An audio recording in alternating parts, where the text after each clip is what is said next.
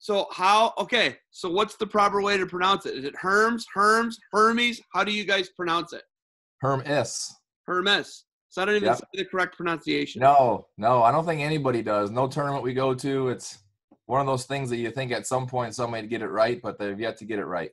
Does it like make you mad? No, it's all right. But like the crazy thing is, uh, so your does your cousin coach with you too?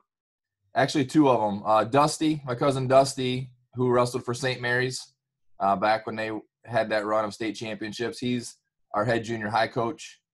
And then my cousin Jason, um, who's Duke's dad, who's he's a freshman as well. Um, he was a heavyweight for Perkins back in the early '90s. He's an assistant on my high school staff. So Jason was a state placer at Perkins, wasn't he? Yeah, you probably wrestled with Jason, I would guess, right around that time. I'm I'm 98. I'm a 98 grad. Okay, Jason was third in the state as a freshman or as a heavyweight. I'm sorry. Yeah, I remember him. Yeah, I remember him. You know, I really remember Nate Boggs. Nate Boggs, Jimmy McKenney, Chad Johnson. Yeah, he was back in with those guys. Yeah, I, I was a freshman. I just happened to be lucky enough to be Nate Boggs' drill partner my freshman year, and Nate was a senior.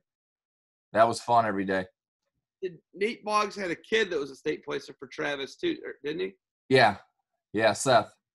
And Seth's actually playing football right now, I think, at Trine and doing pretty well.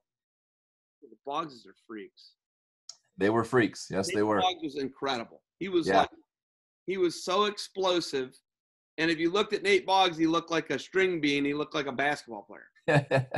yeah, I never forget the state finals. He was in the state finals, and it was like 15, 20 seconds to go, and he was up by two and on top and had the legs in.